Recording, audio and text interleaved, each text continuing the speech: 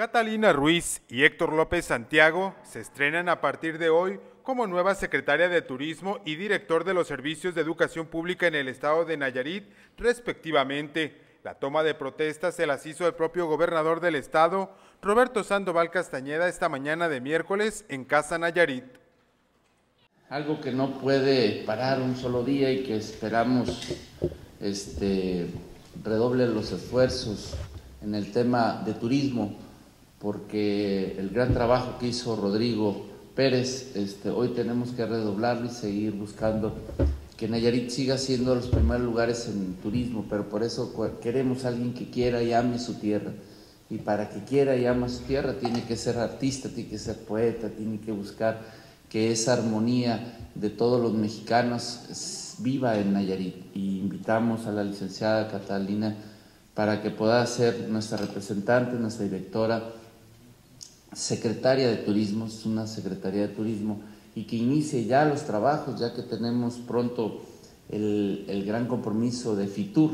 y el FITUR en España, el primer año que fui, este, nos trajimos un hotel de más de, 1500, de, más de, mil, más de 500 cuartos, 1500 empleos, que es Iberoestar, que si no estamos en los lugares donde los empresarios necesitan conocer este gran paraíso, no generamos empleo, por eso tenemos que activar la Secretaría de Turismo y le pedimos a la licenciada Catalina si nos acompaña, eh, señor, secretario, por favor, nos acompañes. Preguntarle también como secretaria de Turismo, secretaria de Turismo, si protesta cumplir y hacer cumplir la Constitución General de la República, en la particular la del Estado de Nayarit, las leyes que de ella emanen y desempeñar el cargo de secretaria de Turismo del Estado de Nayarit. Sí, protesto. Si así lo hiciera, que el gobierno y la gente de Nayarit se lo premien, y si no, también que se lo demanden. Muchas felicidades. En su oportunidad, el mandatario Nayarita hizo lo propio con Héctor López Santiago, quien se convierte en el nuevo director de los CEPEN y a quien recomendó velar por la educación de los nayaritas. En este momento hablaremos de educación, donde este, tenemos eh, desde hace más de 40 años problemas con el sistema educativo, donde los nayaritas a nivel estatal estamos hablando de que podemos nosotros este, mejorar nuestro nivel educativo y hemos superado algunas metas, algunas este, medidas, pero nos seguimos estancando entre los lugares de los 10 lugares con menos desarrollo educativo. Por eso tenemos que implementar una nueva ideología y más en los sistemas educativos federales, en CEPEN, de los cuales este, el día de hoy tomamos protesta a Héctor López Santiago como nuevo director de CEPEN para poder nosotros refrescar en un académico, en alguien que es maestro, alguien que también estuvo y está partiendo clases en la Universidad Autónoma de Nayarit y que tiene toda mi confianza, es, es un conocido de todas las políticas públicas, de todas las políticas del Estado y sabe que haciendo alianza con las maestras, con los maestros, buscando que la reforma educativa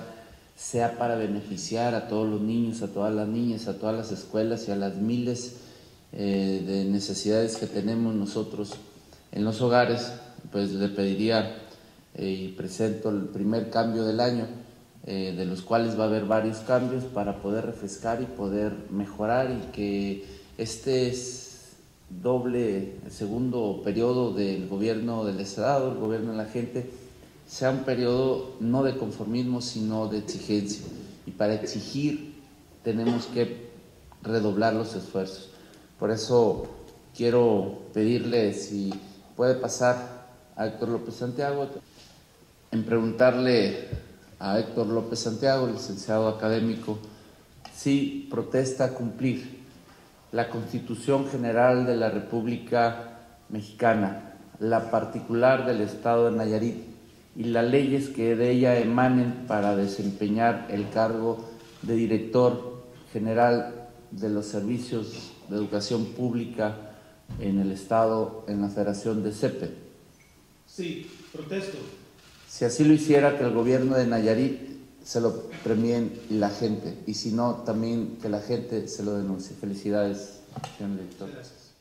Cabe destacar que en este mismo evento, el gobernador del estado anunció que desaparecerán los módulos del programa social Prosa.